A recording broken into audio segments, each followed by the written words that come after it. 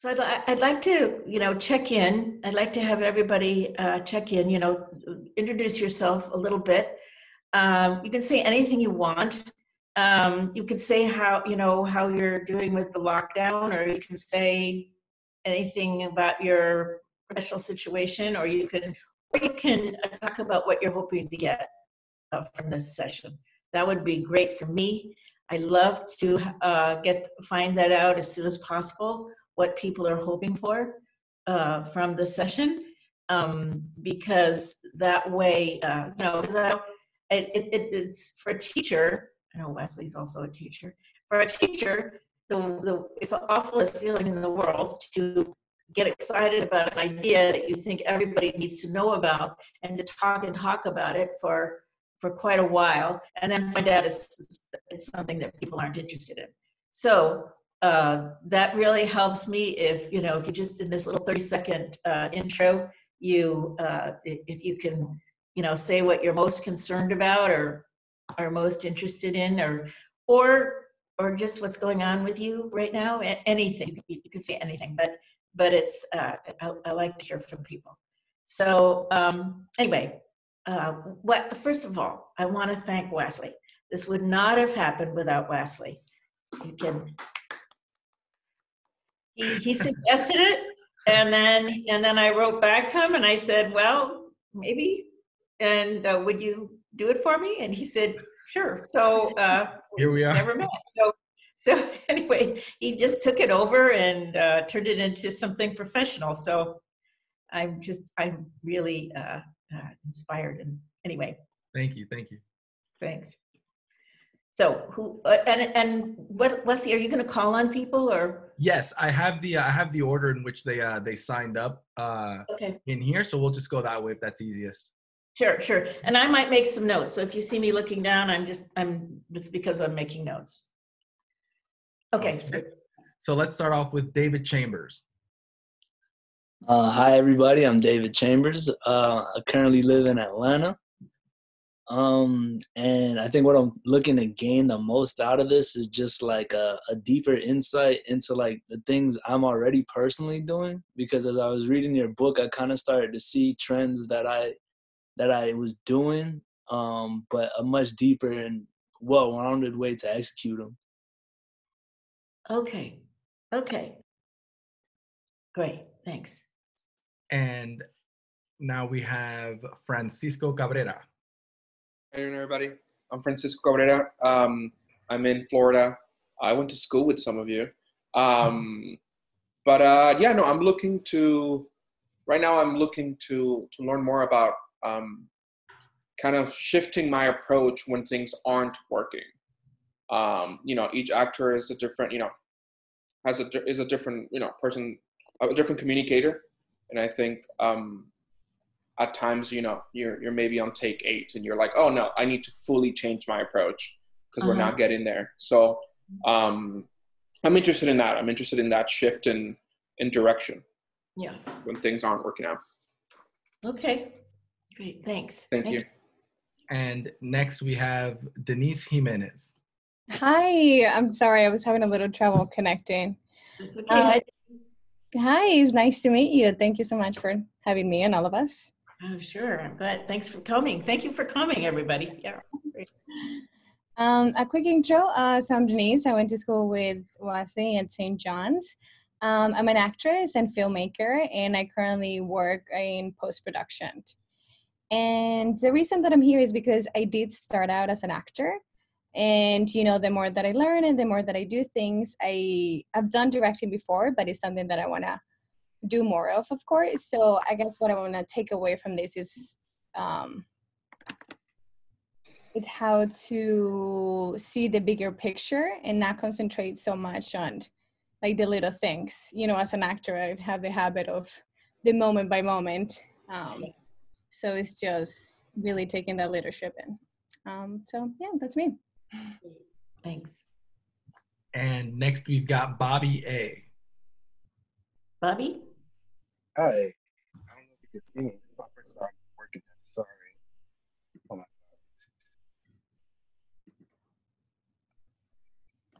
Should we come back to Bobby? Yeah, we can. We let's let's come back to Bobby, uh, and let's move on. There he Oh, is. Wait, no, I see Bobby. Yeah, there he You is. see me? Hi, hello. How you Hi, doing nice to meet today? you. I am doing well. Nice to meet you. Uh, so I'm a writer, director from New York City. I have produced two different series, and today is because I have read the book. I'm so honored to even be here. And basically, I just want to sharpen up all my skills as a director Okay, and understand that there's levels to this, and I'm going to get to that level. okay, okay. Your audio is a little tricky, but anyway, we'll we'll figure it out when we Okay. get to questions. We definitely will. Uh, let's see. Next, we have Paolo Sesti. Hello, everybody. Uh, my name is Paulo Sesti. I am a 16 year old Latino filmmaker based in Miami, Florida. And uh, if there's one thing I want to take out from this uh, seminar or class, uh, is the best way to work with non actors. I've had a little bit of trouble with that uh, in my high school film career. And I want to see like, what's the best way to approach non actors. Okay. Great. Next, we have Alina Nadine. Hi, Alina. Hi, hi guys. I'm calling in from Berlin, Germany. So uh, cool to be with all of you. Um, I guess what I'm most interested in for this meeting is just getting to know more about how to work in prep, um, especially considering the first meetings you have with actors before you even start um, talking or rehearsing, for example. That would be really interesting for me. Thanks. And next, we have Alan Guillermo Gutierrez. Alan. Hi, Alan. Hi, hi, hi, how are everybody? Um, I'm Alan Gutierrez. I'm from Mexico City. I took a directing a workshop, directing actor workshop with Judith a long time ago. I think like 12, 13 years ago. Oh my so God. I'm a filmmaker. I, I'm also a- an actor, and I'm a, a film teacher. So all my classes are based on the books of, of course, of Judith Weston. So I'm so happy to be here. Thank you very much for the opportunity. And nice Yeah. to meet you, everybody. Yeah. And next, we've got Brent Darty. Uh, hey everybody. Uh, I'm uh, I'm an actor and screenwriter. I'm here in Los Angeles as well, Judith. Uh, so hi, I'm your neighbor apparently. Um, I am uh, uh, slated to direct my first feature later this year, hopefully, if things go according to plan. And I would like to kind of piggyback on what Paulo said and talk about working with actors of various skill levels um, and sort of rehearsal techniques that we can uh, use to help uh, some of my more experienced actors along. Great. Thanks. Thank you. Next, we've got Chavez Kaylee. Could, could you, oh, just raise your hand. Oh, okay. Oh, hi. Hi, Shabbat. How you doing? I'm Chavez Cayley, uh, MFA graduate from Florida State University, also a former classmate of Wasley. I'm just happy to be here on this call. Uh, the main thing that I want to learn from this call is when you're using action verbs with actors on set, and then your different ways to communicate when you run out of those said action words. Okay. Big time. Big time. Great, Yeah. great. So after Chavez, we've got Ganesh Genus. Hi, Hi, Ganesh. Uh, I'm Ganesh. Uh, I'm from Florida, but I live in Queens. I also need a haircut, and uh, I'm just here to uh, learn from everybody. You know, steal ideas. Hopefully, come out on the other side a little, uh, a little bit smarter. Okay. Okay. Next, we've got Jasmine Peck. Jasmine. Oh, hi, Jasmine. Hi, nice to meet you guys. Um, I went to school with Waz a long time ago now um, at St. John's. Um, I'm working as an assistant at a production company right now. Uh, I'm in LA. Being in a place is just sitting in your room, I don't know if it counts as being somewhere, but uh, that's the that's the city. Um, I'm interested in sort of just the idea of staying sharp and uh, refreshing myself. I haven't directed in like a year, um, and picking up some tips of like maintaining the tools in solitude, especially given everything that's going on. Right um, so yeah, that's me. Okay, okay. And Yeah. next we've got Let me make a note of that because that's going to be important. How to how to keep sharp in solid in solitude in in lockdown. Because I want to make sure I talk say, try try to say something about that. Okay. Okay, great. Thanks, and thanks. next is Jason Wishnow. Jason. Okay. Hi. Um, so um, I guess like Alan, I took a workshop with Judith several years ago, so that's my connection to all of this. And when I saw this was happening, I was so excited because it's been a while. Um, I've, I think, you know, I was just curious to hear what you would say in any setting like this. I, um, like Jasmine, I'm curious to hear um, you know how we could continue to sharpen our skills maybe in situation like this or you know even for me i feel like my directing career has been somewhat start and stop off and on and how i can keep sharp for when i go back into my new projects Great. Great. Thanks. Now we've got uh, Jessica Boyer. Hi, my name is Oh, Jessica hi. Boyer. I'm a Florida State University College Motion Picture um, MFA student, um, directing specialist, and what I would like to learn from the class is um, how to explore and to um, learn an actor's range and just um, new directing techniques to take on set. Okay, great. And next we've got Martine McDonald. Hi everyone. Um, I'm Martine. I'm in Los Angeles. Uh, I have a lot of the same questions as everyone here, but I'm specifically interested in working with non-actors, um, young people, uh, children, and teenagers. So it's excellent to see uh, young filmmakers here as well who are who are still working with high school students, um, and just really happy to be here. Great. Thank you. Up next we've got Tyler, Tyler Monsine. I hope I'm saying that right. Yeah. Hey, Can you see me? I haven't used Zoom before. Is this working? Is it? Yes. Okay, cool. Hi, um, I'm living in Los Angeles from Florida originally by pure coincidence. Um, huge fan of directing actors and um, amazing audiobook, incredible. And I just want to learn more, I guess, about introducing roles to actors without, I don't want to, I have a tendency to over explain or talk too much. I just want to find ways to kind of keep a mystery alive without feeling apathetic about not answering questions. How to how to make it so that I can watch an actor perform without feeling like I'm neglecting anything. Wait, what was the last thing you said? Just how to um, how to keep questions in the air. You talk a lot in your book about questions and you know how would you do this and how to bridge the gap between my understanding of the character and posing a question to the actor without making it like as if I don't as if I'm stepping back or something. Right. I'm not sure if that makes sense. Yeah, no, it does. Okay. Totally. Thank Yeah, you. Going back to mute. Yeah. Thanks. And up next we've got Ryan Booth. Hey, how's it going?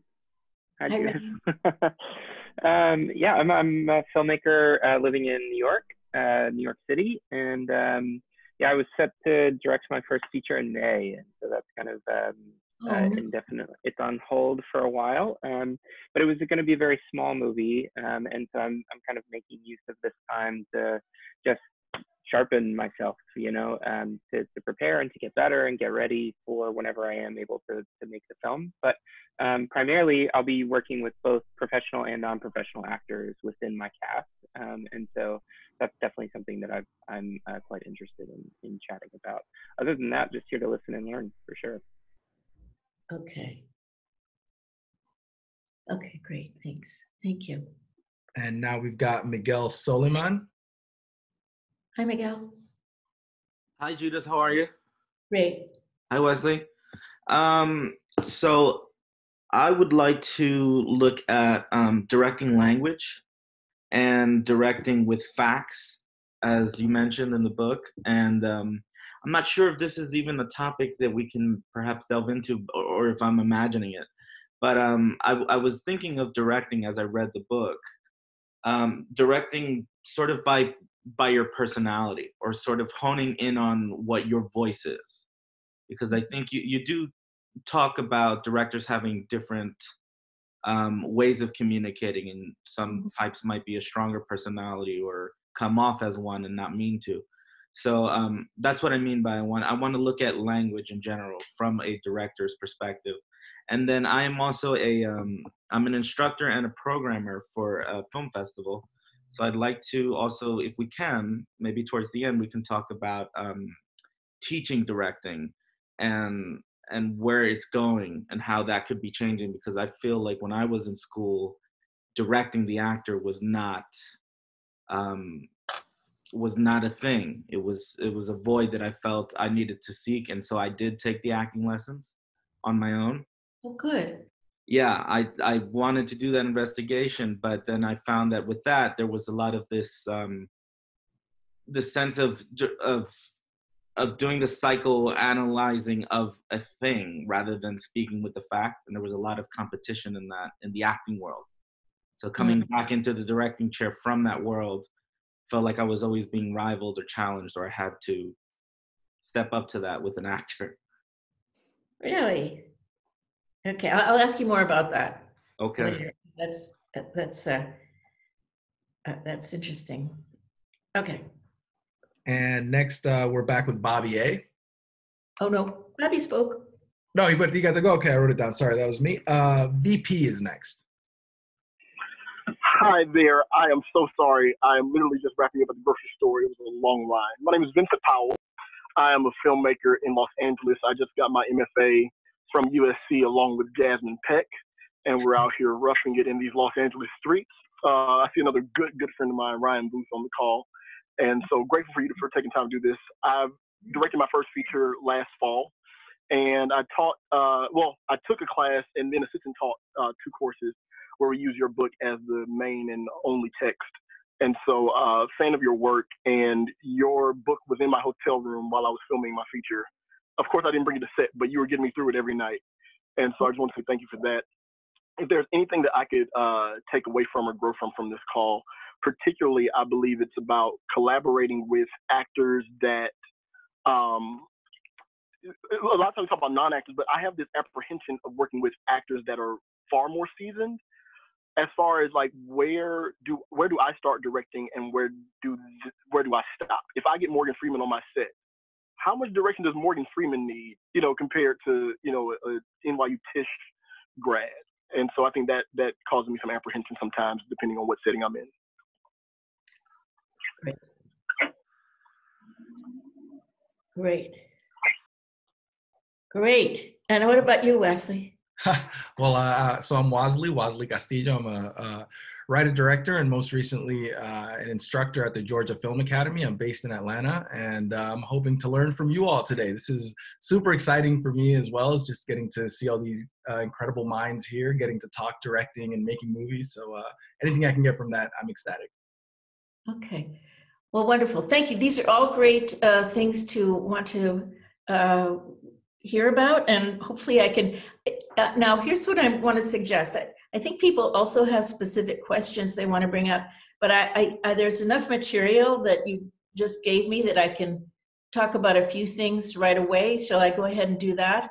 Or um, yeah because uh, there are especially a couple of things that came up more than once like uh, like working with non-actors. So l- let me just uh, or a, a blend you know a blend of uh, professional and non-professional actors. Um, first of all, here's what uh, uh, here's here's the bottom line: don't ask non-actors to act. It's really I, it's I know it sounds simple, simplistic, but it's really true. If you uh, uh, you you yeah don't act don't ask non-actors to act. Cast them uh, as close to their own personalities as you can, and then tell them that that's what you've done. When you say, you know, you are, I, you know, I'm casting you in this role because you are exactly right for it, just the way you are. You don't have to do any acting, and I don't want you to. I want you to um, respond to the other actors and to the circumstances as you know as they hit you you know and um uh and, and i i don't and i don't want you to act. I, I i think that's i think that's so crucial. I think it's so so crucial. I i once saw for a while about eight years ago i was eight or ten years ago i was watching a lot of commentaries. And um luckily because you know eventually they disappeared. So i was really glad i watched them uh, you know a whole lot of them back then.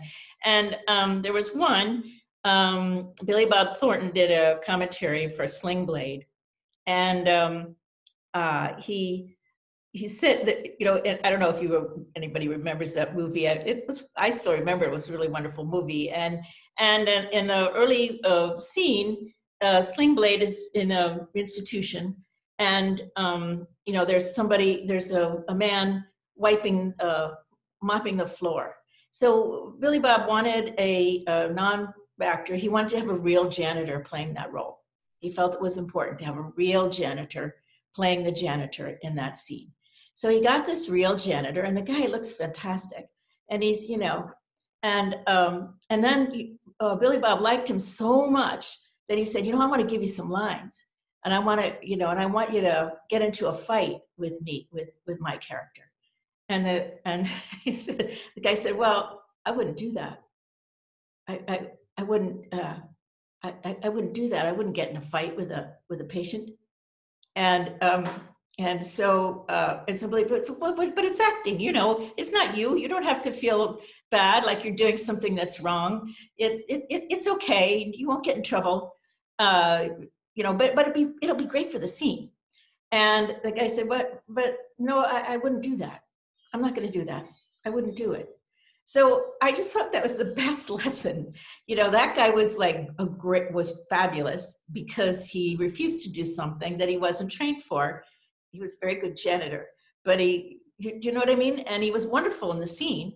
But if he tried to get into a fight with a patient, which is something that he in real life would never do, it would just look like bad acting.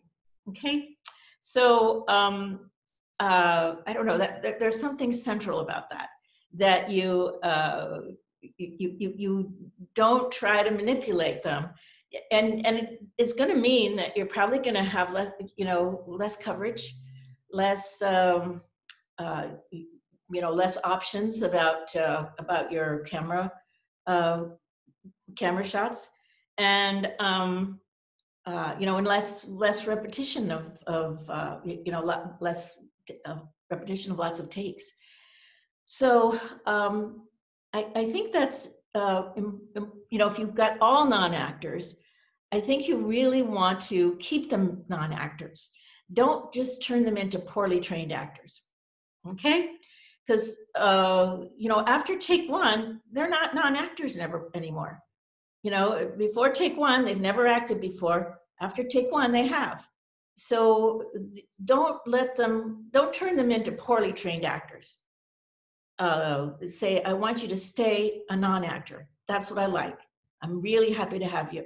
Now if you're working you know in a high school situation and in fact the only reason you're working with non-actors is because professional actors are not available to you then uh, still tell them i'm really glad i have you. I think you're perfect and i've changed you know i wrote my scene for you and uh, you know that, that's going to be your best bet. It really really is. And um, and and you can still use a few little things.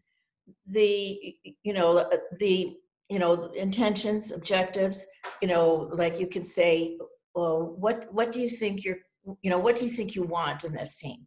And um, you know and the, and the person will say uh, the non-professional actor might say, "Well, I want him to get out of my uh, get out of my face," and then you can say, "Great, great, let's do that." Do you know what I mean? You can you can um, uh, you can reinforce this idea of the objective or the verb. Or you could say, you know, I mean, this is just like when you have to go to the store and and they don't have anything that you want and the guy is rude to you. It's just like that. You know, so you you so that's the as if that's what I'm going to mention. Somebody said, "What do you do when you run out of verbs?" The as if. The as if is is is is the bomb. It's great. So you, know, so so it's like you don't always have to have a verb for everything, but um, it's great if you can start to figure out metaphors. In other words, the as if, metaphor, parallel, analogy. You know, the it's like when. Mike Nichols used to call it the it's like when. This is like when you, you know, this is like when you go to the store, they don't have what you want, and the guy is rude to you. Uh, and but it might, but the situation, the script might be, you know, on a spaceship, right? So, um, yeah, so it's a it's an analogy. It, this is it's like when. So you can do use those with uh, non-professional actors as well. That those can be, uh, you know, those are simple to understand. It's it's not it's not a big big jargon a big uh, jargony kind of thing. Uh, getting into a deep uh, analysis about backstory is going to be less helpful for non-professional actors. But uh, you know, like like you know, so this guy has been beaten up his whole life, and if the person has not been beaten up, their, beaten up their whole life, and they're not an actor, they go, yeah, you know, uh, okay, but they don't they don't have training to to uh, bring that to life. But the objective does can can work with non-professional actors, and the uh, and the metaphor, the it's like when. Those are very helpful. Backstory, not so much. Um, you know, uh, invented backstory or backstory that's even in the uh, you know, because you might say to uh, somebody who's a non-professional, untrained actor, well, this guy has has had this and this happen to him. He says, well, and he'll just say, well, that hasn't that hasn't happened to me. I don't know anything about it. And you can't argue with that, right? Now, as far as working with professional actors and non professional actors, um, uh, you should, if you possibly can, I don't know what's happened to these commentaries that the directors were doing, you know, 10 years ago. Uh, do they still exist on the internet somewhere or do you have to buy the disc from you know get get the disc from netflix is it still possible to get them? Anyway, if you possibly can, you you have to find um, the uh, commentary of Paul Greengrass for the movie uh, United 93. I mean, no, was it United? Yes, United 93. Um, it's about the uh, flight on September 11th, the one that um, went down in the Pennsylvania uh, field. Um, and so it recreates, you know, that flight and the and the the people, the heroic actions of the people who were on that flight. Anyway, he uh, he hired um, flight attendants to pay to play the flight attendants, pilots to play the pilots, and air traffic controllers to play the air traffic controllers. In fact, the air traffic controllers that he hired were the ones who had been on duty on that day. Okay, and um, now that sadly wasn't true of the flight attendants or the pilots because all those people died. But you know, the flight attendants were, uh, but they knew what it was like to be a flight attendant, and they their ability to imagine what it might have been like to be a flight attendant on that flight was infinite. You know, they, they didn't have to do any work, they didn't have to be trained. They, you know, I mean, I mean I, I'm sure that every flight attendant, every pilot in the world, when they heard the news of that, they wondered, what would I have done? You know, their their imagination was already going there on that, you know, as the news hit the as the news hit the the televisions on that day. So um, so they didn't have to do any acting. Does that make sense?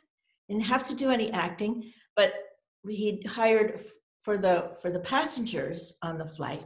He'd hired professional actors. He'd uh, he'd hired uh, professional actors who um, were not well known. That was a deliberate choice to hire professional actors who are not well known, but were professional actors. And um, so he said, you know, they just get just get them to talk talk to each other like people. The listening, you know, the talking and listening, get them to talk to each other like people. And um, so it, that's that's the best, you know, the kind of that story of how he worked on that is the best uh, suggestion I have for getting uh, professional and non-professional actors to work together is is to you know treat everybody like people. The characters are all people, and um, and then don't act, ask the uh, the non-actors to act. Okay. All right. Um, what else?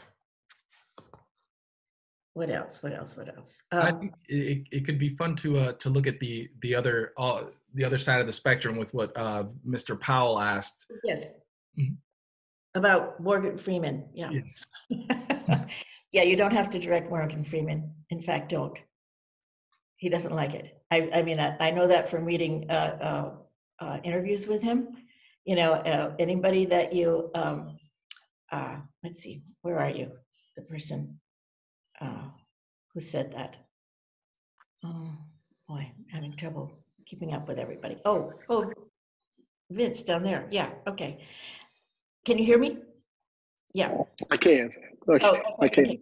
So, um, yeah, if, if you're working with stars, um, you still should prepare uh, script analysis very deeply, but the main reason that you're preparing script analysis is not to give direction to them, but to keep up with them. You know, Sure. to uh, to be able to listen to their ideas and um, and and uh, I don't know, not shoot them down right away. That's gonna that's gonna be your best reason for being very prepared when you get to work with uh, with stars, is, Sure. is so that you have had a lot of idea. You have you you know your own idea, but Mm. a, a, very strong principle of my uh, script analysis is to have more than one idea. You have your idea Right. that you're Right. in love with and think is fantastic, and then you make yourself come up with two more ideas for the same thing, you know, for the same Mhm. moment or the same scene or the same character, and you you make yourself uh, find way a way to abs- absolutely believe in in another way to do it.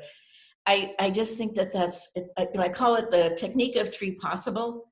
It's um, you know it's it's it's there in directing actors, the original directing actors, but I've I've expanded on it since then. It's more expanded on in film director's intuition, and then it's even more expanded on in the uh, uh, revision that I did for um, for the audiobook this past, which came out in September, and I'm working on a um, you know a, uh, a, another edition of directing actors, which will be out next year, uh, a 25th a 25th anniversary. I mean, it's 25 years. Wow. Can you Wow. Come on. um, yeah, so it'll be a 25th anniversary edition. It's it's uh, it's actually pretty different and. I mean, it's this, exactly the same, but also very different, and you know, it's certainly updated. And um, uh, wait, what was I saying before I got off on that? And I didn't mean to turn this into an infomercial, by the way. Um, You were talking about the the theory of having multiple ideas. yeah, yeah. So I really, really uh, bear down on that. The longer I've taught, the longer I've taught, you know, I mean, it's 25 years since, uh, you know, since the first directing actors came out. And the longer I've taught, the more I bear, I bear down on that idea of in your preparation, you know, find your find your own voice, your own idea, what you what you feel it is, and you know, as clearly as you can. Absolutely do that. But then take the time to make yourself um, think, "Wha- how could it work otherwise? Now, I should give you an example. You know, like like what if um, uh, your your idea um is that the two these two characters have uh, been in love secretly in love since childhood okay and um, that that could be a very fruitful idea for a lot of different situations but um, but I think still think it's good. It's helpful to take time to say, what if it's the opposite? What if they, uh, you know, their their secret backstory is that they've uh, never gotten along. You know that that uh, you know they've grown up together, they've been next door to each other, but they they never they never were right for each other. I don't know. I mean, I, we don't have a script, so that's you know it's very abstract here. But to but to kind of make yourself uh, think of more than one way that you can think of the characters. Now, the most helpful thing about doing this is that it prepares you for the actor to have a completely different idea than you have. Okay? So that you so that when the actor has a completely different idea, when he says, you know what, I don't think these people like each other at all, then you're not going, you know, because because that, that that can easily make you think, oh my God, he hates my script, he hates my ideas, he's never gonna, he's never gonna trust anything I say. And if you already know that there's more than one way to understand the character or understand the script, then you'll have you'll be so much in so much better position to um, you know to to not get freaked out when uh, when an actor has a different idea than yours. Really good point. And it doesn't mean you have to take his idea. You know, you could you can say, ah, I, I, you can say that's a great idea. I totally see where you're coming from and then you can say and and yet you, you could say and yet there's this scene there's this line there's this uh there's this thing that happens that makes me really wonder about that. You know what what has been you know what has been going on?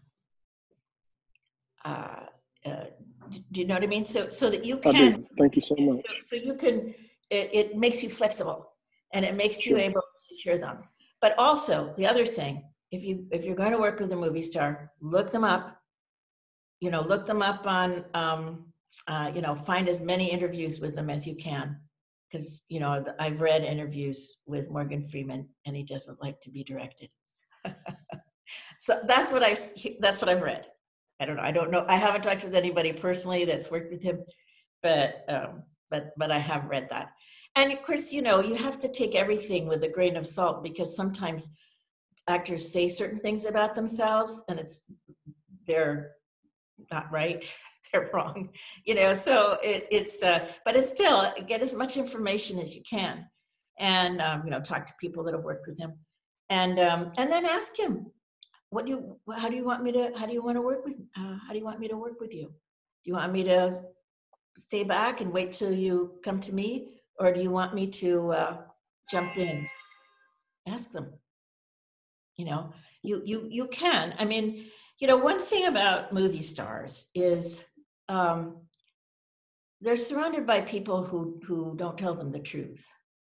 You know if you if you really think of them as people uh, people with problems people with uh, problems like we all have then one of their problems is that they're they have all these uh, yes men around them. No one you know lots of people lots of people uh, telling them that they're everything's great when it isn't. And um, so you can be the person who tells them the truth you know? But the thing is you you, you want to have a relationship. Now i want to say what, miguel miguel what were you asking about? Oh directing by personality. That was such an interesting question because you have a strong personality don't you? I've been told. Yes. Well that's cool. So, uh, uh, have have you gotten in trouble for that, or or? Uh... No, it's never been trouble. But like you said, I think that you come to discover these things sometimes at inopportune moments when perhaps you want to establish that relationship with someone, or specifically a trust with an actor.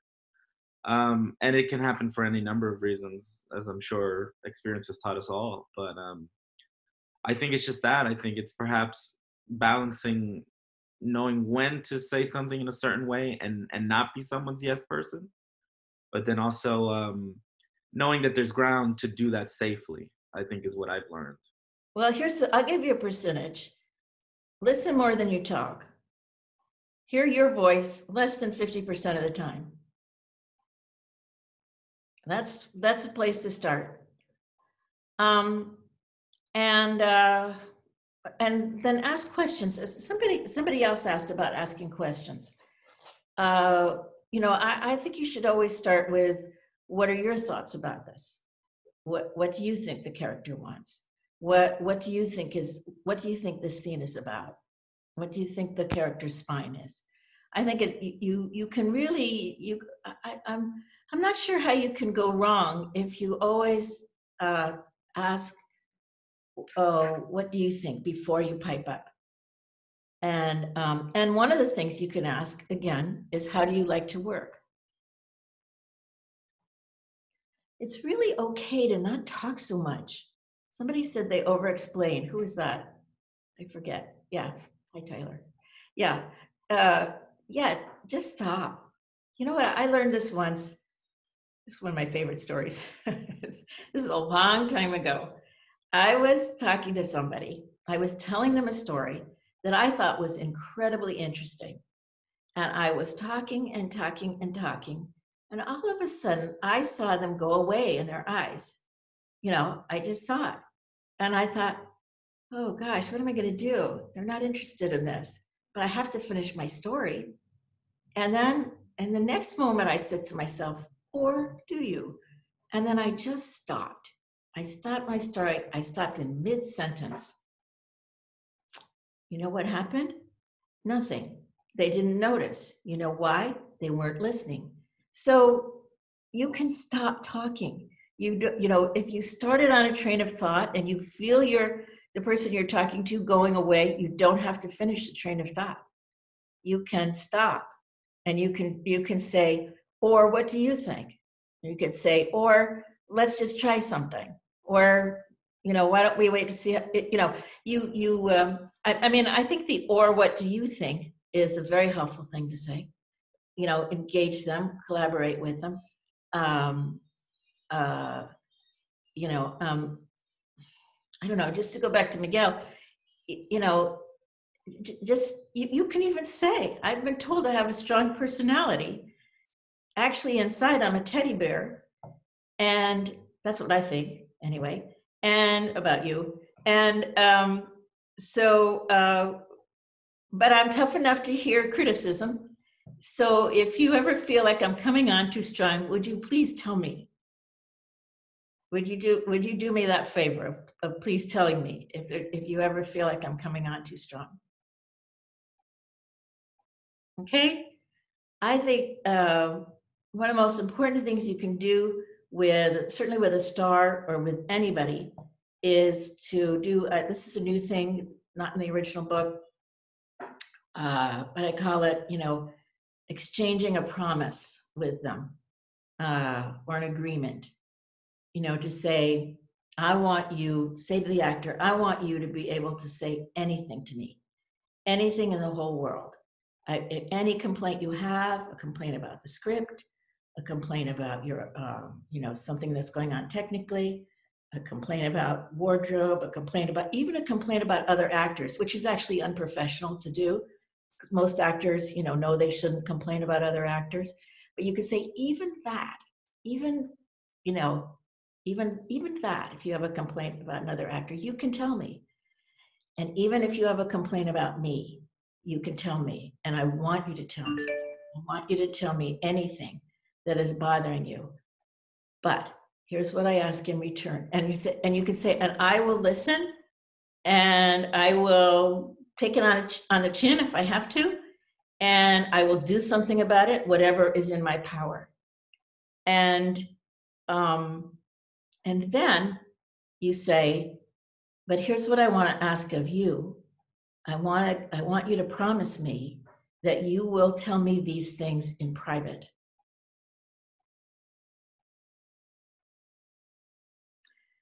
You will be in so much better shape if you do this with everybody, even if they're, you know, well, just your your friends, you know, that have never acted before the thing you don't want happening, you don't want gossip. You don't want people yelling at um, anybody on the set. Okay? And you don't want to be living in fear of that Because if you live in, if you're living in fear of that, I don't know, it just shuts you down. So that's uh, that's no good. Really quickly, guys, uh, just a quick flag on the play. Sorry, completely my fault. Our, our, our boy Danny Malone didn't get a chance to introduce himself. Uh, I, just, I just want him to get a chance to do that before we continue. Sorry about that, man. No, you're all good. I was, um, my, hi, my name is Danny Malone. Uh, I'm classmate of Waz's. I was about two years ahead of him at St. John's and a year behind him at Florida State. I'll be graduating uh, this summer. Uh, your book was incredibly helpful to me on my thesis uh, this past uh, this past semester. Um, really, what I kind of want to learn about is l- figuring out ways to empower an actor who seems really hesitant to speak on their beliefs and their opinions on a character or a scene. I feel like you kind of just touched on it actually, which is which is weird. Um, but when they seem like they just want to hear your ideas on the project, what are some ways you can can really get them to to feel empowered and, and let their mind run free? That's that's what I would like to. Yeah, well, I think you have to start with your belief system, you know, because I've, I've I've heard directors say, you know, some actors come to the set uh, uh, and uh, an empty slate, and I just don't believe anybody's an empty slate. I just don't believe it. Everybody has experiences. I mean, there are some people who are not articulate in the sense of being able to um, uh, you, you know, say, this is my idea. Do you know what I mean? Uh, Not, not everybody has that, this is my idea, you know, that uh, intellectual confidence uh, or interest even sometimes. But, but everybody has experiences and, and that means everybody has um, impressions. Everybody has impressions. So that's what you could say. What are you, what impressions do you have? What or connections? What connections do you have? W- Here's something uh, you, you could say, and and you know you have to do this so it doesn't feel intrusive. But you can say, you know what? I'd love to find out. I'd love to find out if there are three ways that you think you're like this character, and three ways you think you aren't like them. It's interesting. I don't know. I just get. I don't know. You know, I can't tell you what to do next. Mhm. but uh, I, I think uh, I think something always happens. Yeah. I think something always happens. Ideas come from that. Okay. Uh, I don't know. Does that help? Yeah, absolutely. Thank you. Okay. But uh, yeah, if the word idea, sometimes the word idea is like too much for some people. It's like, you know, say, I'm not, I'm not that, you know, cerebral, which is fine. They're not. That's not part of their job to be cerebral, really. It's their their job is to be impulsive. So, so um, okay, so you could call it impressions or connections instead of ideas. Thank you very much. Sure, sure. Waz. What else? What else should I do here? Um, we've got we've got some people either getting ready to shoot a feature or uh, having already shot it. So maybe maybe those people could uh, come forward and talk a little bit about that and their concerns. Yes, great. Speak up. Who who was that? The person who was supposed to shoot in May? That's Sorry, that was me. I'd already forgotten that I was supposed to be shooting in May. It just had to uh, remove it from my mind. Oh God. I know, I know, I know. Well, uh, uh, let me try a little something that I I thought of to to try to show you. And um, I'm just gonna have to move my my laptop back here a little bit. And um, I don't know if this would be helpful or not. I mean, of course, one thing, you know, read, read, read. Uh, um, I, I went and I was trying to fix this area up a little bit. So I, I, I put out some of my favorite books. Um, Kazan on directing. Whoops, what happened? Kazan on directing uh, is fantastic. Cassavetes on Cassavetes. Kieslowski on Kieslowski. You know, I, I, I don't do, um, let's see. Uh, and of course, so Sidney Lumet's book, Making Movies.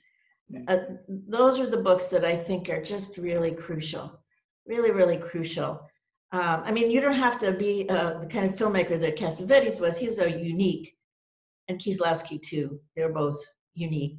Uh, one of they were both one of a kind, and, and it's not that that anybody should try to imitate their methods, but their uh, their devotion, their absolute devotion to the deepest truth that that each you know to, to thinking of each actor that came in front of them as as as a, a, a creature who is in possession of a deep truth somewhere. And and that yeah every actor that came in front of them they they had the idea that that act that every, that was a person that was in possession of some deep truth.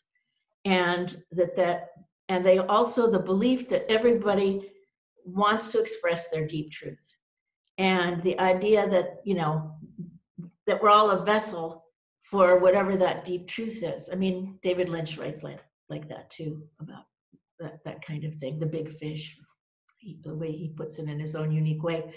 But um, so th- those things are inspiring, and you know, the, the if you if you can get around to to thinking of yourself uh, that way, that um, uh, you know that that you're going to find out what makes this actor tick. You know what what what turns them on? What what what what what's important to them? What what have they got to say? And how can how can you help them?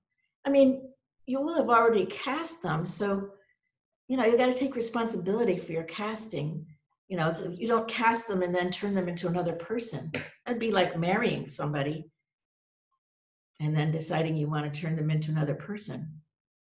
I mean, that's not a that's not a good idea, right? if you marry somebody, then you know you got to make something work. Uh, you get to get to. I don't mean you got to. You get to. It's very exciting, and uh, but you don't you don't have to. You can even get divorced, but but uh, you know you you you get to kind of find out what is the the most you know the, the wonderful things they have to offer. So and that's true about actors too.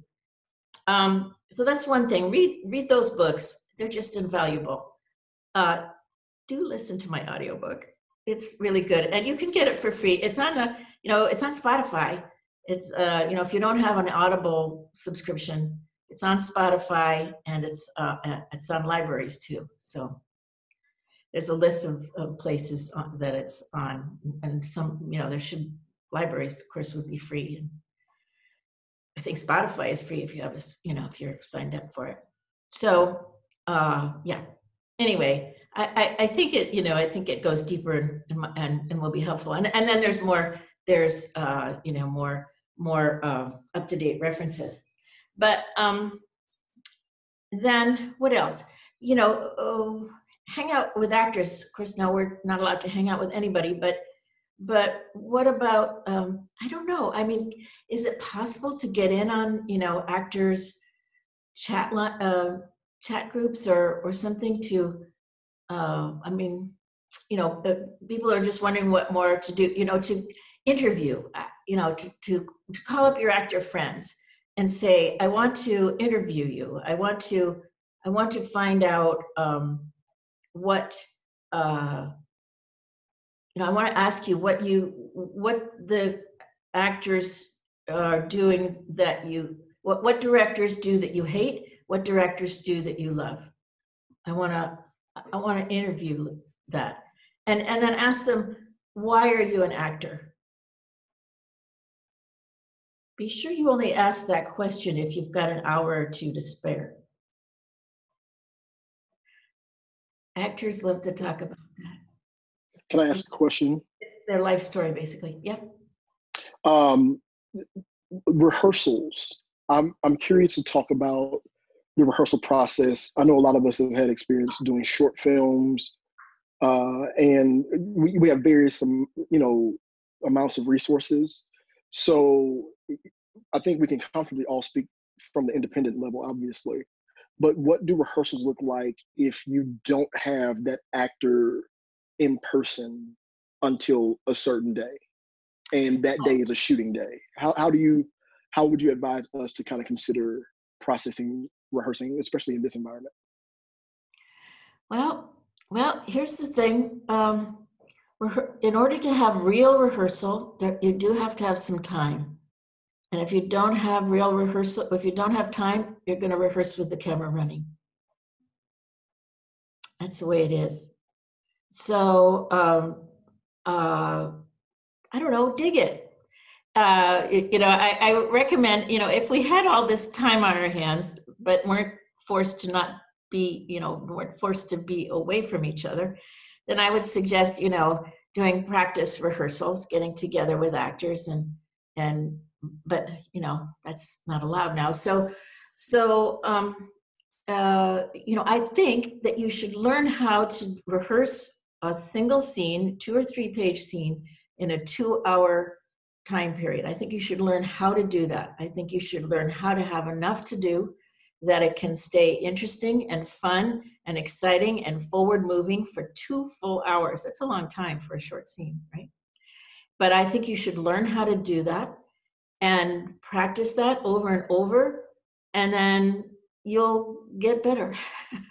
you'll get better at at at uh, dealing with having you know.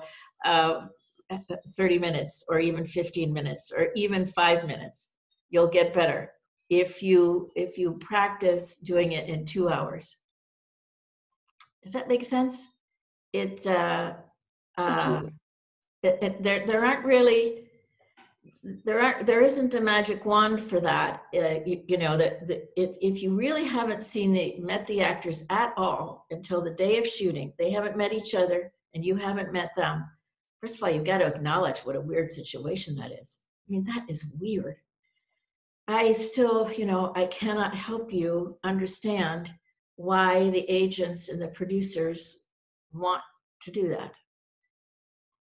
They want to do that. They think that's perfectly okay for the actors to meet each other and the director on the first day of shooting. That's nuts, as far as I'm concerned. It's nuts you know, I mean, you've got to at least uh, Skype with everybody or Zoom with everybody ahead of time. Get as close, you know, it, you, know, think of it as an intimate relationship, and you know, and uh, uh, tell them why you wrote this thing. Tell them w- what matters to you about it. Ask them for, uh, you know, I, will tell you this story. This thing. Why are you an actor? It's they will talk you know if they if they feel you really want to know you know if they feel that you really care and want to know okay and maybe you need to tell them first what why you're an artist yourself i don't know but uh or but you know don't assume they're as interested in you as you are in them. They might not be. But uh but uh i don't know get you know and and and, and make it easier. I, I was actually i've been i've been consulting, you know, I, I do these one-on-one consultations, and now they're all on Zoom, but um, or or Skype. But I used to uh, actually I was worked with somebody in Berlin actually uh, last couple of weeks, and um, uh, he he's doing something that's actually going to have part opera in it. So his big concern was how do I direct these actors where some of them are going to be opera singers and and opera stars stars of the opera world. And some of them are, will not have acted before much at all. And um, so we, we talked a lot about, you know, and he was going to have a Zoom call with this big opera star, big diva, big opera diva. And the casting director and the producers wanted her to do like a screen test over Zoom. So I said, well, that's terrible. You know, she won't be lit right. She won't, you know, I mean, at least the thing about a screen test is you're lit properly. And, uh, you know, that, that, uh, this is so unfair. So the only thing you can do at the beginning is to talk about it. Frankly, this is, you know, this is a crazy thing. This is not, a, you say this is not an audition. I mean, that's what the producers wanted. They wanted an audition, right? They wanted to see if she could act for film, right? and um, and I said, you know, you've got to tell her it's not an audition. It can't be an audition because we're not in the same room. and you say, but we're going to get to know each other. That's all. We're going to get to know each other and, and, and explore the characters. And if we feel like reading a couple of scenes, maybe we'll do that. And how do you feel about having the camera running for the whole thing?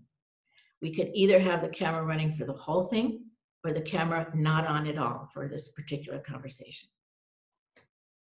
But the idea of do, you know, interacting with an actor on Zoom, and then you say, okay, now we're going to turn on the camera and you're going to play the scene. Ah,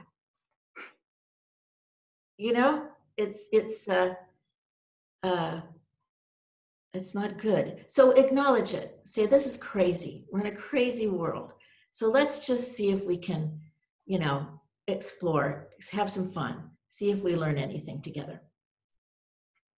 Okay, so that's what that's what I would suggest for now, and uh, you know certainly uh, meet uh, interview. Um, uh, what else? I I, I was going to show you something. What time is it? Oh, it's four o'clock. Yes, we're at the we're at the hour mark. So I just want to uh, note that we are at the hour mark. It's amazing how quickly time flies, right? When you're having fun. So, uh, Judith, if you wanted to show what you wanted to show, and then we could take a couple more questions. Well, if people want to leave now, you know, because we said it was an hour. So if you want to leave now, that's completely understandable. Okay. So, well, I got these things out. Uh, these are my dollhouse dolls. Let's see. Okay. All right. These are, I, I, I think they're so useful. Again, this is not in the original book of directing actors, but this is something I've figured out since then. Is um, you can can you see anything? Can't really see much, can you? Anyway, got some got some dolls, got some furniture, and um, oh, I had a whole little kitchen up there, but you can't see it. I had to bring it down here. Anyway, and then you can uh, you can say the lines and make them move around. And this is really helpful for imagining uh, scenes. You know, before you do your before you do your um, uh, always forget the word for that. You know, when you uh, sketch. Oh, this is really good. blocking or, or no, no, it's the the the, the uh, overhead boards, storyboards. Storyboards. That's it. It's a very simple word. Before you do your storyboards, and before you do your blocking diagrams, before you do your shot list, to just sort of help you imagine it in three dimensions. You know, it's sort of more like a theater, sort of putting it into more like a, a theater kind of thing. So, so the oh well, gosh, I, ha- I had it up on my but you can't really see it. Anyway, so and then you they say the words and then they move around, and then um, maybe you have a refrigerator over here. Anyhow, this is not going to work, but um, but that but but you could try that. Get yourself some some uh, dollhouse furniture and little dollhouse dolls or action figures or um, let's see art supply dolls. And and, uh, and you know and, and make them move around while you're uh, you know so and and see if that see if that does anything for you. You know and even if there's a scene that you've already storyboarded um, see if you like start from scratch what would it be like if they're really people? Because if you do this they're just dolls of course but but it will actually look and feel more like what you're going to see when you get to rehearsal or the set because it's you know people moving around in a little little room or little park or whatever. So i don't know. It, it feels pretty lame as a way to get through lockdown you know i don't know it's really hard what are people doing what are you guys doing to kind of keep yourself alive during lockdown? Anybody? Personally, um, go ahead, Chavez. I was saying lots and lots of writing and uh, watching YouTube videos, just trying to stay into everything because it's all you can do when you're in the house, just kind of watching different directors, actors, just trying to stay a part of it. Yeah. Been joining a lot of like writer groups. Sorry. just a lot of any group that I can join, like Zoom group to check in on each other, has been like the best thing. Oh, good, good. Jasmine, I think you were gonna say something. I'm I'm trying to do to learn a skill that's like creatively adjacent. So I'm picking up like guitar and piano um, to keep me to keep me going a little bit.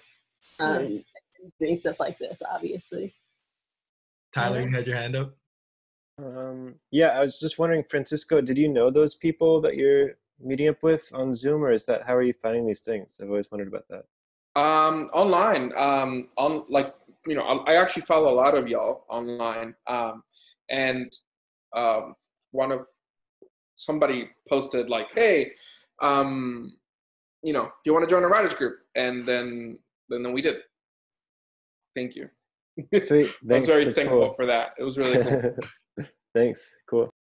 I'm finding it fun to do a lot of cooking with a podcast involved. So like John August Scriptnotes is great, and just to like listen to a bunch of those and experiment cooking and storytelling as well. Oh, good. I've actually been trying to develop to uh, figure out a way to shoot a short film. Um, one of my old ideas, reformat it for like a Zoom kind of like shooting it over Zoom. So Uh-huh. that's a lot of time. That's a great idea. Been um, pre-producing like crazy. Uh, get all my high school friends that are other also filmmakers. Uh, say, hey, yo, I'll produce that for you. Or like, I'll, I'll run up the schedule for you. Like, I'll, I'll, I'll arrange a shot list, all that. I got you. Um, back and forth, try to work with as many people as I can within this time.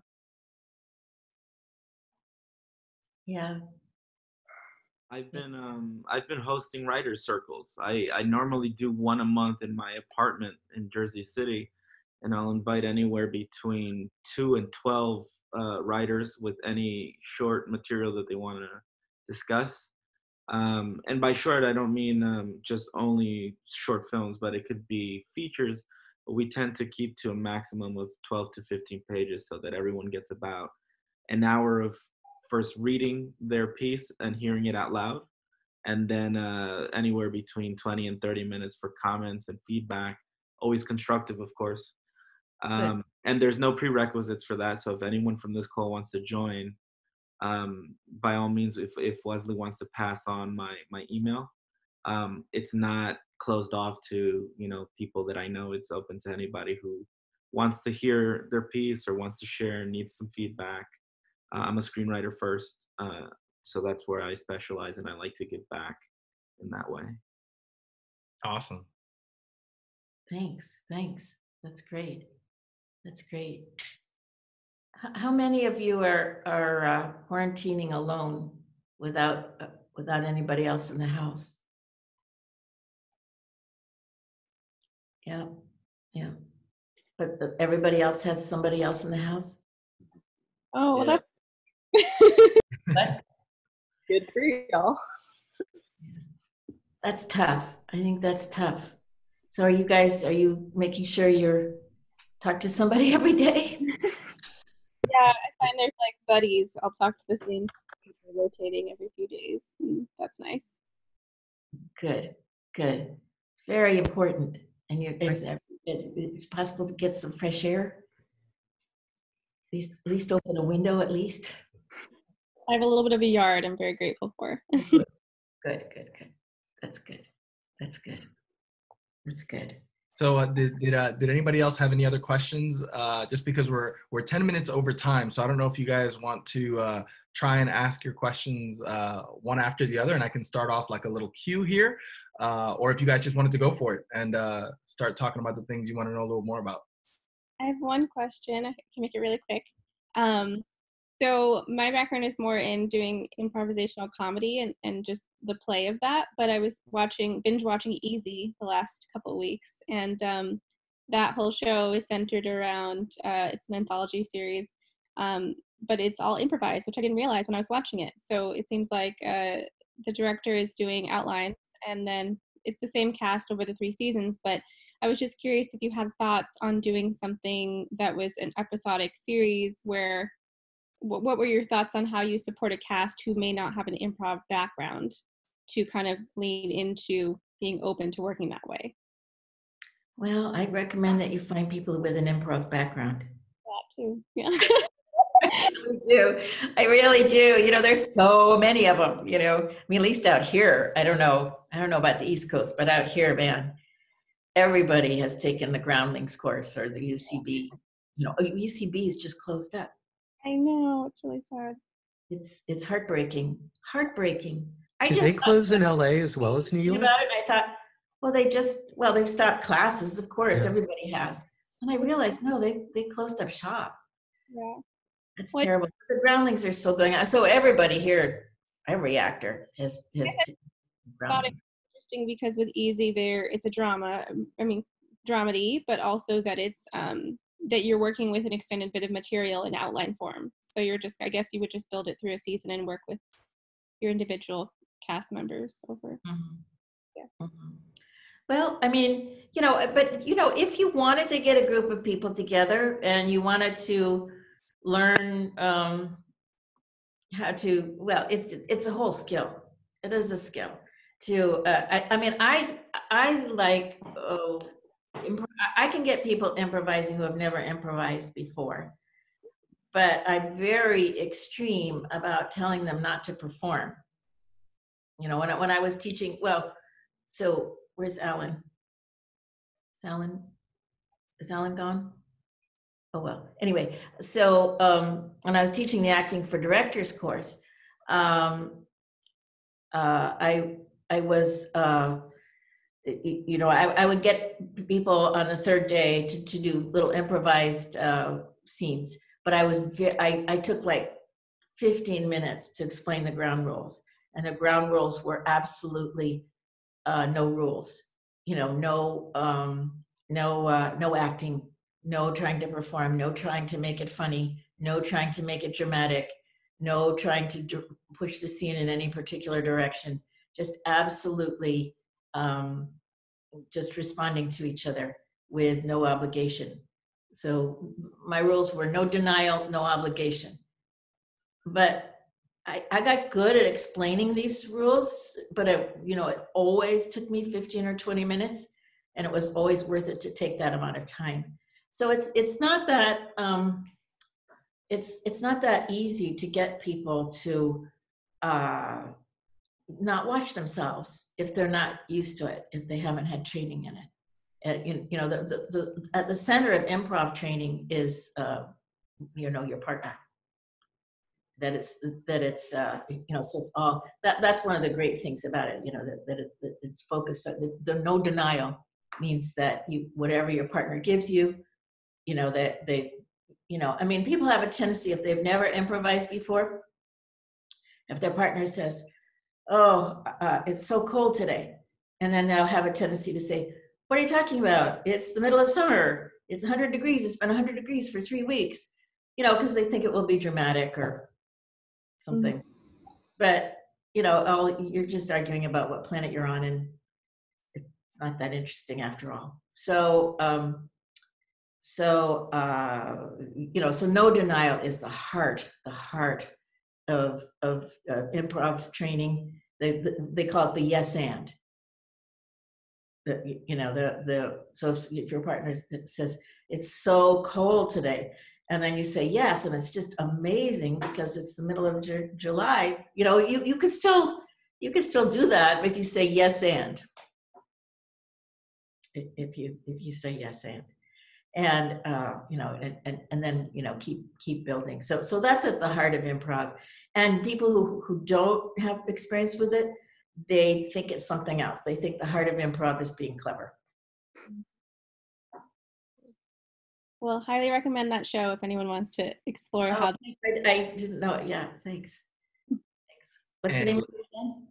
Oh, Easy Okay. on Netflix. So, it, it- Wesley, did you have a question? No, I was trying to see if anybody else had any questions. I Yes. do. Hi. Um, I have a question. Uh, so, uh, kind of trying to figure out on set when things aren't working and and when you know when to regroup when to when to completely shift that you know your direction um you know realizing that it's not working and then how to shift from that um because yeah i recently i you know i had a i was working on a scene and the um, actor was crying and even like even though there was no crying in the script and i was trying to like trying to push them away from crying and it felt like a constant thing on every scene even scenes that weren't emotional I was like, please stop. I can't say that to them, but I was trying to like, oh, please, uh, you know, you're trying to empower him. I was trying to use words that basically shed away from tears. Um, and and and that was the time where I was like, oh, as a director, I don't know what to do anymore. Um, so yeah. It sounds like a time to take him aside. I mean, you should tell her uh, everything you say to an actor should be in private. I mean, you know, never, never yell at, call to them from behind the Mhm. monitor. But um, it sounds like you could take him aside and say, "Tell me some more about your choices," Mm. because uh, uh, I don't know. Just start there. You know, get get you know, like like treat it like it's like it's an artistic issue and not you know not something wrong with him, Mhm. but like it's uh, you know it, it's it has to do with choices that that he's he's made choices about this. You, you know, t- t- tell me some more about your choices, uh, or or particularly, and, and then if he if he says, "What do you mean?" You you could say, "Well, I, I I'm I'm I'm wondering." Uh, uh, oh, why he's so sad. I don't know. You could just say it like that. Mm. I'm wondering why he's so sad. Okay. Thank you. No, yeah, I guess I worry to use words like that, like asking them questions about like the choices that they've made, um, because I feel like I'm like attacking their their their their approach. So I don't. So that's good that it, it is that. Um, Well, you know, be sure that nobody can overhear. That that's important. But uh, I, I think you want to be direct. I mean, here's the thing. Here's look at it this way. An actor, you know, they might be uh, might bother them to be asked to, to have their choices questioned. It might even make them angry. Might even make them feel hurt. Might even make them feel defensive. But as long as you're in privacy, that'll be okay. You uh, you can take it, right? You're tough. You can take it. You you have to be the one that can take it. Mm. And um, uh, but which do you think the actor would rather have happen? That they get told something that's uncomfortable to be told, or that they get cut out of the scene? Right. It's pretty simple, right? Okay, so uh, so you you know you you have to uh, you know mo- most of us are not uh, uh, don't have a lot of experience telling tough truths to other people in real life. We don't have a lot of experience with that. So get some. thank you so much. You know, I, I think lockdown's a perfect time for that, really. I, I mean, I just feel stripped down in so many ways and, uh, you know, emotionally. You, you know, I just feel like, why keep up the facade, you know? And you know, if you're, you know, and, and the other thing is you, you have to realize you're, you, you have to tell yourself, you know, you check, you know, where's my heart? Uh, is my heart pure? Uh, am I telling him this out of love because I know he can do better? Then yes, you can say it, whatever it is. Beautiful. Thank you. And I saw Alina had a question. Yeah, uh, kind of jumping back to rehearsals, if that's okay. If we, for a second, assume we have basically the opposite problem. We don't have no rehearsal, but we have a lot of it. And you talk um, in directing actors, you talk a lot about in rehearsal mirroring back to the actors what you liked, what they did um, to mirror it back. And yet you also talk about maybe just making a note and saving it for the shoot. And I'm wondering so when do I make a note and when do I mirror it back directly? So when is it better to save something for the actual shoot and when should I explore it more in rehearsal? Wow, I'm gonna I'm gonna punt on that one. I don't know. I can't, I can't give you a you know an absolute thermometer there. Um, uh, that comes with experience. I mean, all I can tell you is I have made both those mistakes, telling them too much and not telling them enough. I've made them myself, and uh, you know, here's the thing. Here's the thing about mistakes you know if, if you if you're not yeah, first of all you can ask them am i you could say am i be, am i talking too much? Here's a great question. Am i talking too much? Uh um you know or or do or do you um uh or or or do you want me to talk more? That, that that's that's helpful. Find that out. Um and oh, fooey what was the other thing i was going to say? It was very important I can't remember. I was going to say something else. Uh, um, oh, oh, just remember, you know, if you do make a mistake, it's not the same as a, a surgeon. You know, like you, you know, if this, you, you know, uh, we're creative. We're creative. We're we're we're creating uh, imaginary circumstances and imaginary stories and imaginary people. If you make a mistake, you can change your mind and uh, if you're a surgeon, when you make the cut, if it turns out you've made the cut the wrong place, that's a different kind of mistake than the you know the you know the, the I, I, think I think it's so helpful to to realize you know make choices, jump in, and then uh, then if it if if you feel like uh, you, you, you know, if you could get to where you could say, well, that didn't work. You know, now you don't want to do that with producers around. Okay? So you don't want to do that with producers or crew. Yeah, but if you're it's just you and the actor and, and everybody's focused on the work, then it really becomes okay to say, well, that didn't work. Let's try something else. Let's move on you know, sort of no fault, no no analysis. You don't even have to analyze. You can just say, let's move on. And uh, but that's the value of having rehearsal without producers or crew around. So you know, they're kind of rough. You know, on, on actors and directors. And uh, let's see, we've got Paolo next, and we're gonna we can do one more question after Paolo. Uh, it looks like it's it can be Miguel unless somebody else wants to go. And so yeah, Paulo, uh, you're up. Yeah, sorry about that. Um, so Judith, one thing I would love to ask you is what type of advice would you like to give to uh, young directors and even younger directors like myself? Oh, uh, um, well, uh, I still think you should go to college. Oh yeah. Oh, are you going to go to go to college? Uh, yeah, I'm aiming for uh, FSU Film School. Oh, great. Okay, good, good. And I think you should study other things besides film. I think you know you should take electives and you should, you know, study philosophy and poetry and science. I, I, I really, I, I really think that science and math is is really helpful for um, for directors. That's my belief you know, uh, that, uh, I don't know, develop both sides of your brain. I, I, I kind of, uh, one point I really got into left brain, right brain theory.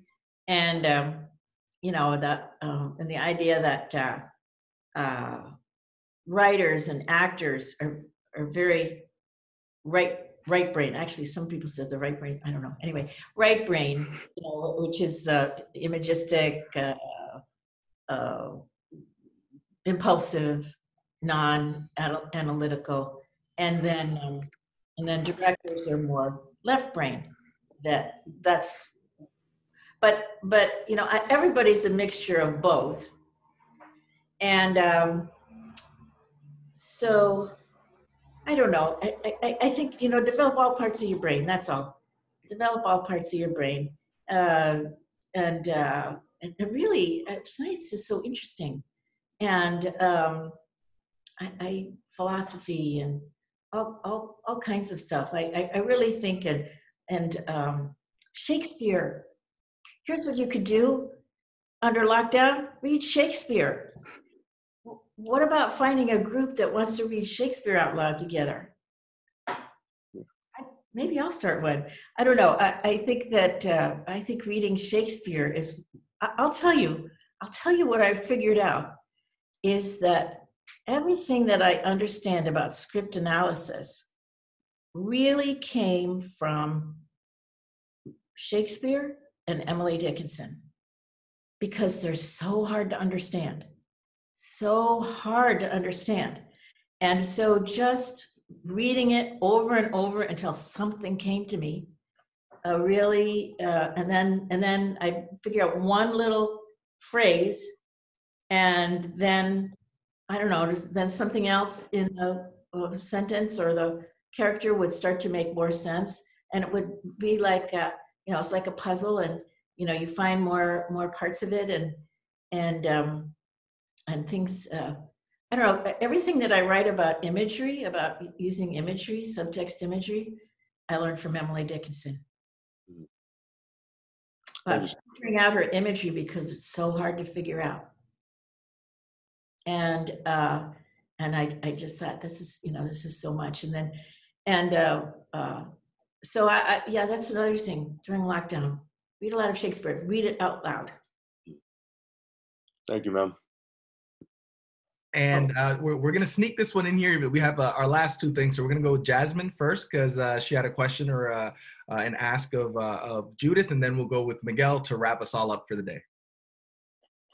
Um, I was just wondering. I, I listened to an interview you did, and yeah, you like what your favorite movies were, and you mentioned not wanting to go into the older stuff like from the '70s and before. And I, I just want to know what those movies are because I'm I'm down for that content. Oh, oh, oh, when did I say that? The 70s. That's the best. Uh, that's the best. Uh, okay, 70s. All right. You want, you want suggestions of movies to watch? Yes, please. Dog Day Afternoon.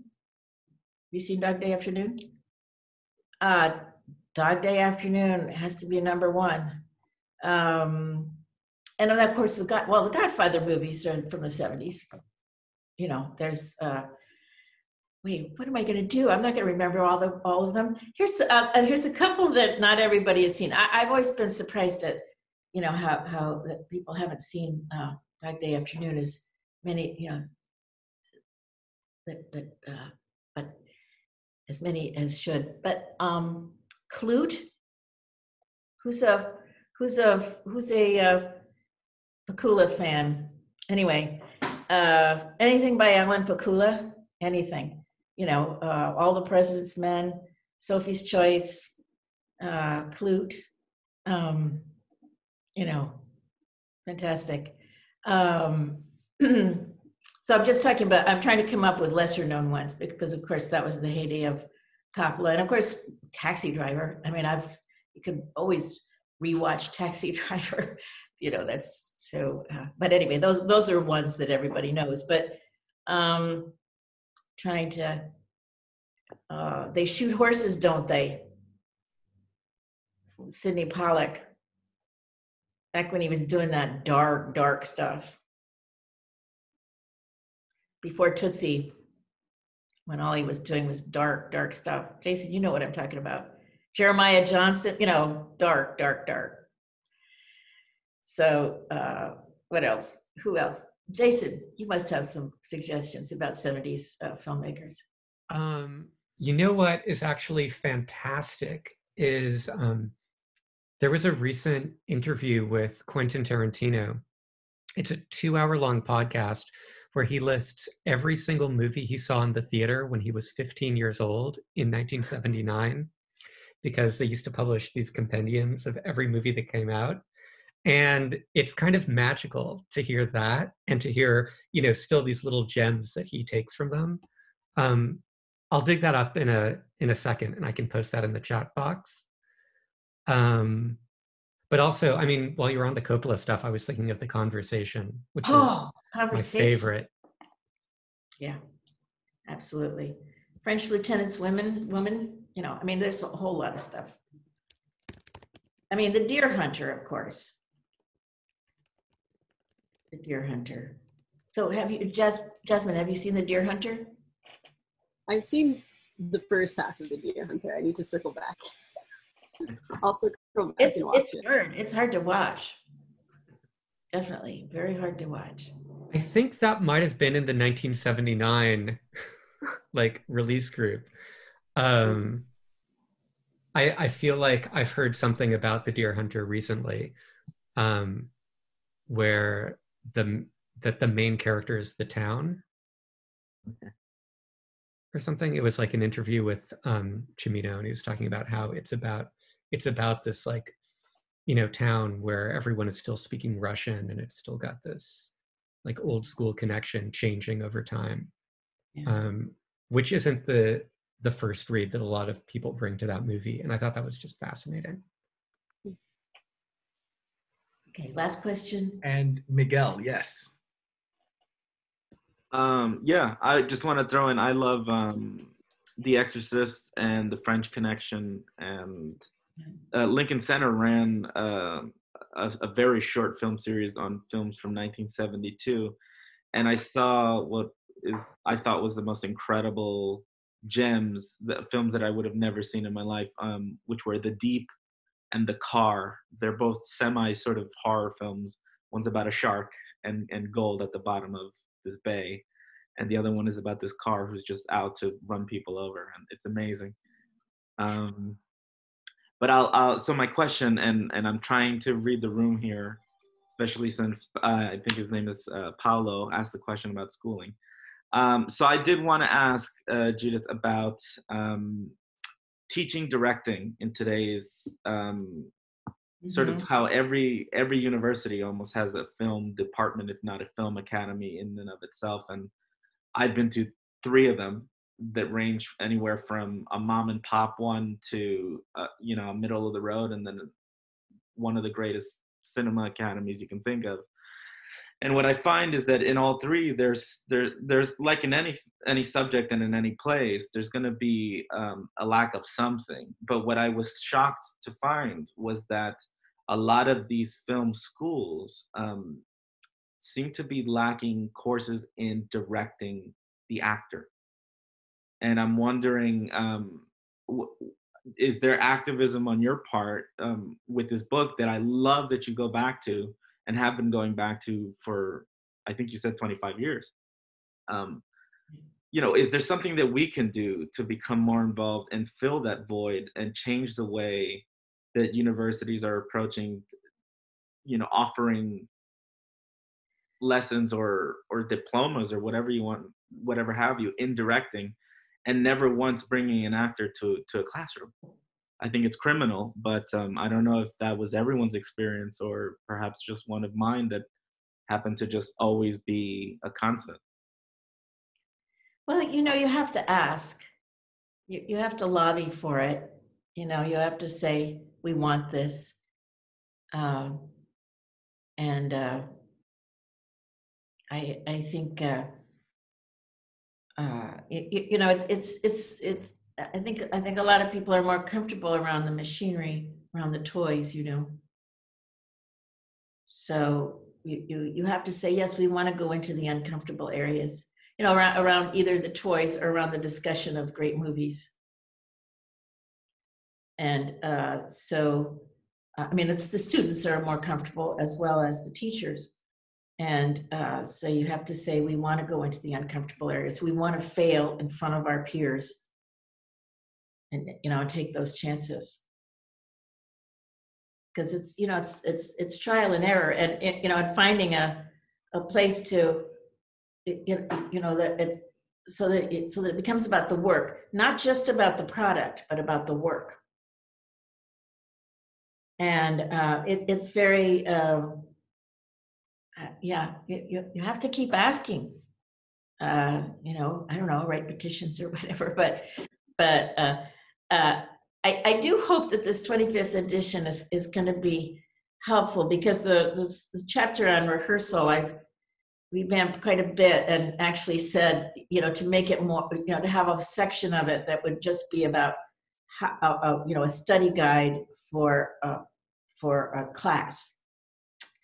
You know, that would include a bunch of stuff that you would never get to do on a professional set.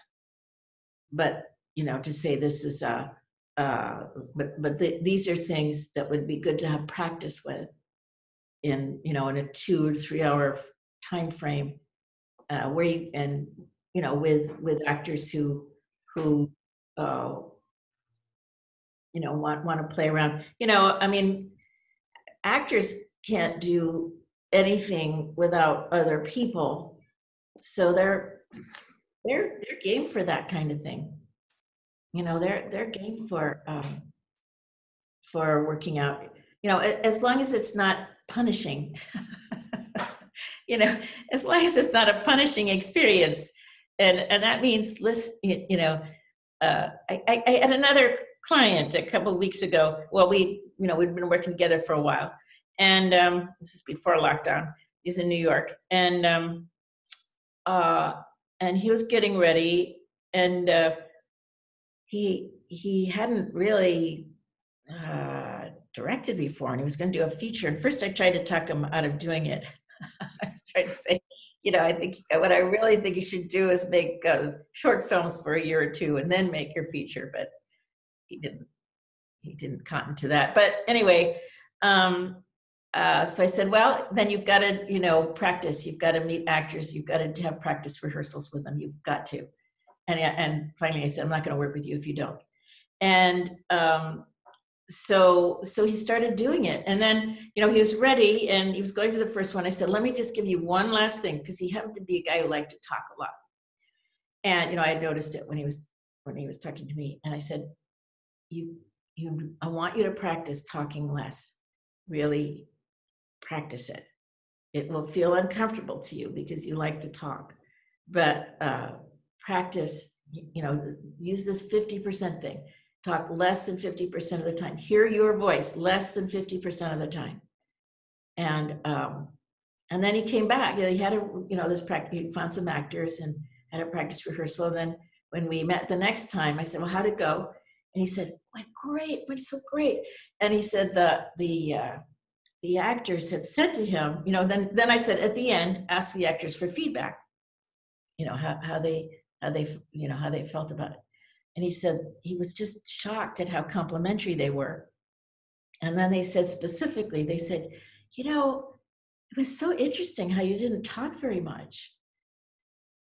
That was, it was such a relief because most directors, they're just, they use rehearsal just to micromanage. So, you know, uh, I can't remember where we started out, what the question was when we started out, but it was something, yeah, I don't know. I think I went a little afield, but anyway, it's, uh, Well, that was that was an amazing question, and I think it was it was answered in a great way too. Um, I really just want to thank you guys all for coming. Uh, we've been here now an hour and 40 minutes, and you guys all have been have been amazing uh, uh, for uh, joining in on this beta session. You know, we've definitely we've all learned a lot. Definitely leaving here with more than we uh, came in. So Judith, thank you so so much. Uh, you know, you, from the bottom of our hearts. I know I thank you, express when I say Thanks. that. Uh, thank you. I just want to thank, well, you're very welcome. It was a pleasure, really a pleasure. And I, I want to thank Wesley. It would not have happened without him. Sure. no big deal. Sure. No problem. Was Thanks, Wes. No, you killed it, bro. an absolute ple- an absolute pleasure, guys. I hope we can do a lot more. If we can do one last thing before you guys get out of here, if you have your book close or a screenshot of your book uh, on your phone, if you could bring it up towards the camera, I want to get a screen cap so we can put it on Twitter. Uh, yeah, go ahead and find it online. There it is. There we go. Find them online. Bring them up. Put up your phones, and uh, it. there it is. You guys will get it as soon as it's up. and you guys are the beta class. So do us a favor and go back on Twitter and let everybody know how much fun you had. Let everybody know how awesome the meetup was. And to all your friends that couldn't get in this time, uh, let them know that there's going to be more and they can always reach out uh, to be put on to the next ones. Thank you guys so, so much. Thank, you, all. You were wonderful. You were wonderful.